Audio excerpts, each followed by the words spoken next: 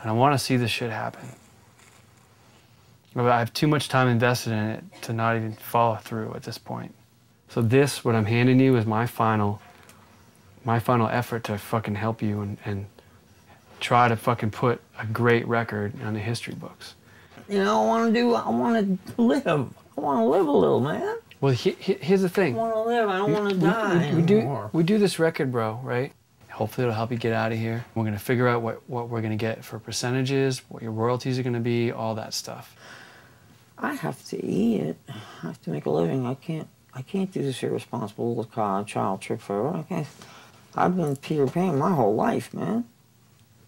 It's time to uh, uh, do something. I want me back. I'm tired of giving me out and giving up and running away.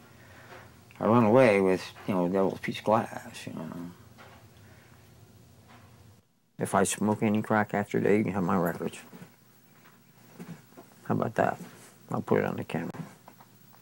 If Robert Liebling smokes crack after today, 10 12 07, Demian Fenton and Sean Pelletier will own Robert Liebling's entire record collection. Before you do it, it should say 1B possession to take place only if and after nine days, 90 days, or whatever days, you know, 30 days, 60 days, 90 days.